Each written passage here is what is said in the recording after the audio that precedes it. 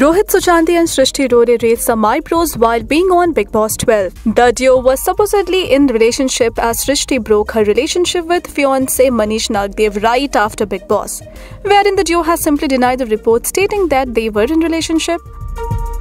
Now the reports have come out stating that Rohit and Srishty were approached by makers to participate in the latest season and they were almost part of the show. As Rohit had earlier admitted on having one-sided love for Srishty, talking to a portal of source revealed, Rohit Suchanti and Srishty Rode were almost finalized for the show to enter as an Anokhi Jodi where the theme would have been one-sided love. But unfortunately, the plan could not go through as someone close to Srishty acted a spoil sport.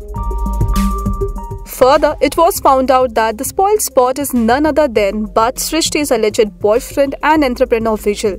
As per the reports, Vijal was not happy on seeing Srishty performing with Rohit. He had told Srishty to back off and not participate in the show with Rohit.